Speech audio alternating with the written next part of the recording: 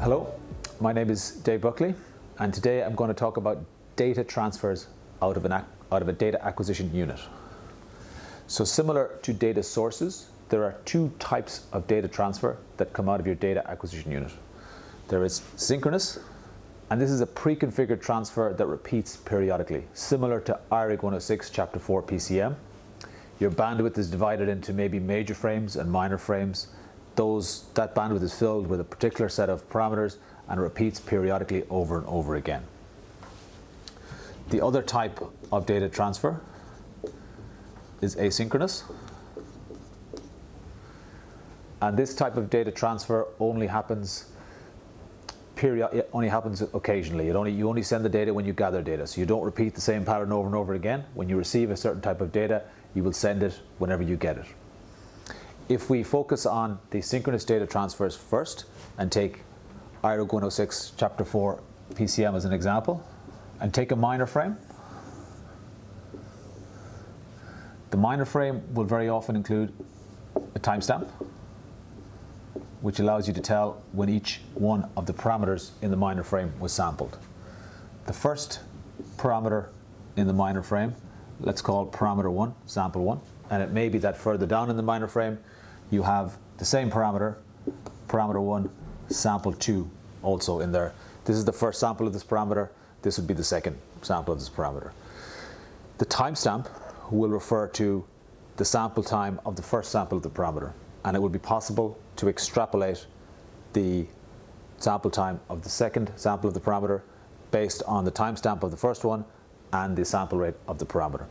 This works very nicely if you have a synchronous source of data because if we take an example that this is the start of the minor frame, you may you will probably sample your data before there and then sample your data a little bit further on and you will sample it in nice equal intervals on the way in such that it gets placed nicely into the correct location in your minor frame. So for a fully synchronous system this works very well.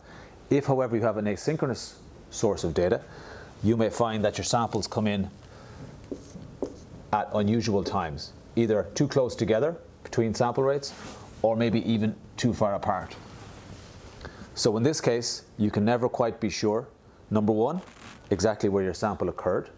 And number two, whether the two samples that come consecutively in your minor frame are actually two samples apart, or whether there was a sample in between, or whether it's the same sample again. So you might get glitches and unusual behavior with asynchronous data going into your minor frame. Now, you can account for this by adding extra data into the PCM frame. For each parameter, you can add a timestamp to say exactly when it was acquired. And you can add some flags which tell you whether this is the next sample after this sample, whether another sample came in between, or whether it's actually this sample again because nothing happened. So there, there is enough metadata that you can send down your, in your PCM stream to tell you exactly when each of these asynchronous parameters occurred. But that uses up an awful lot of bandwidth and it can mean that for a one 16-bit parameter or 12-bit parameter, you might have to send multiple, multiple words of data. And that's very inefficient given the amount of telemetry bandwidth that's available. So the other option is to just wait until you gather up all of the asynchronous parameters, gather them together, timestamp each one, and send it down in a asynchronous packet. This asynchronous packet works very well in the Ethernet world because this is the way Ethernet traffic is um, this is the way the Ethernet protocol works, but obviously doesn't work quite so well in the IRIG 106 PCM world. So what you find in modern day flight test data acquisition is that a lot of the packets that are sent to recorders, ones that don't have to go via telemetry link, will use asynchronous Ethernet packets to maximize the bandwidth and to um, make sure that the data is, is accurately captured and you know everything you need to know about the data that gets sent down.